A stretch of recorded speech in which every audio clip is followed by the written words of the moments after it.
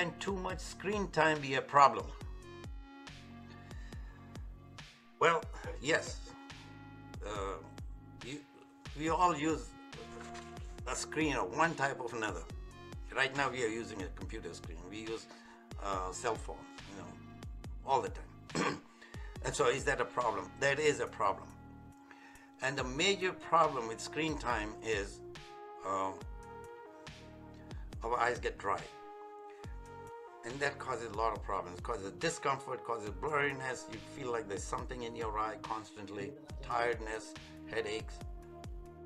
The problem is, even as I'm looking at this screen in front of me, my eyes don't blink like they should normally blink because we are concentrating on the screen. Our eyes normally blink maybe 20 times a minute. When I'm looking at the screen, maybe I'm blinking 10 times a minute. It's not enough. Every time we blink, we are spreading moisture around the eye. So if your eye is not blinking, it's exposed to air and it gets dry. And you do that for six, eight, ten hours a day, and a lot of people have to do it at work, for example. They get tired, eyes get dry. That is the main problem. Plus, the light uh, from the screen will also accelerate dryness. Okay, so it creates fatigue. And the other thing that happens, especially in younger people, in their 20s, 30s, they have to focus to see whatever they're looking at on the screen.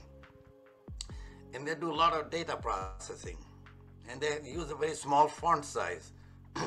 and so they have to focus. And that can create what we call a spasm. The eye muscles get tired, and that induces more symptoms of tiredness, headache, uh, irritation.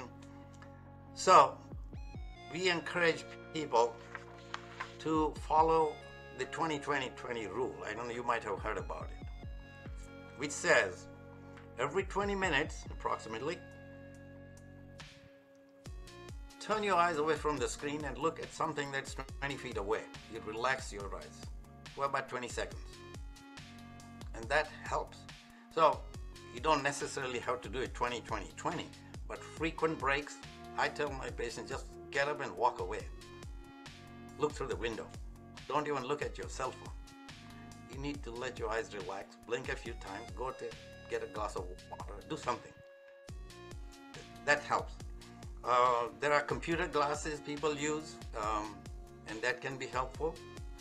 They are usually yellow uh, tinted lenses that blocks the blue light coming from the screen. Um, and um, there are screens available for the um, for the screen itself, the, the computer screen. These are things that can help you. Can this next question was: Can sitting too close to the TV hurt your eyes?